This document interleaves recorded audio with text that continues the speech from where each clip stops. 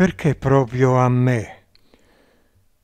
Mio marito era un chirurgo molto quotato. Personaggi della televisione e noti giornalisti si facevano operare da lui. Ed io, mio marito e mio figlio, grandi viaggi, grandi case, una vita d'oro. Fino a quando un ictus l'ha devastato, ha ridotto mio marito a un bambino. Lui è sempre stato ateo, ma da quando si è ammalato vuole andare in chiesa.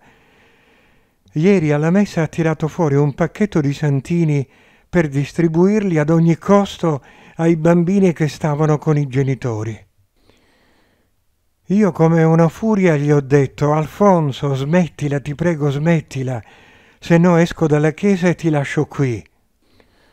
Lui mi ha guardato assente, si è avvicinato a un bambino e gli ha dato un santino. Perché proprio a me è toccata questa disgrazia? Commento. Perché devi imparare ad amare cominciando da tuo marito. Imparare ad amare è la cosa più difficile per chi è incarnato nella condizione umana.